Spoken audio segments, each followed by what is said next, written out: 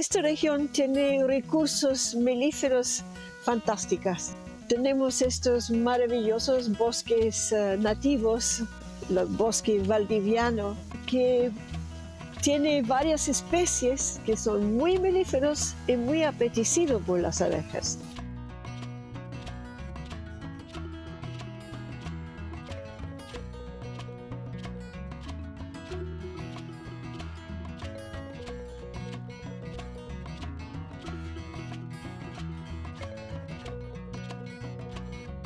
El objetivo es poder potenciar la apicultura ya existente, eh, especialmente desde el punto de vista de la competitividad. O sea, que los apicultores que se han visto afectados por distintas razones, por pandemia primero, y situación eh, de crisis alimentaria mundial, eh, aumento del costo de los insumos.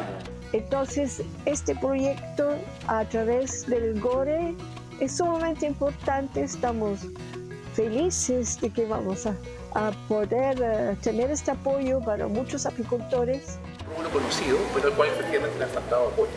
Por distintas razones, es una zona que es más compleja, entonces requiere de unos cuidados mayores que la zona central, también requiere una inversión que no es baja, requiere un manejo adecuado y el trabajo de la apicultura también tiene la limitante que es muy demandante en tiempo para el o sea, no es como otros rubros que tú lo puedes dejar y ver un par de veces al año. Aquí la apicultura tiene que estar casi todos los días viendo las abejas.